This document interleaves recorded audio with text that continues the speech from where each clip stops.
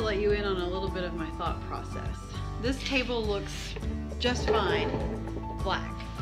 I could absolutely clear coat it now and be done. But it's got these legs.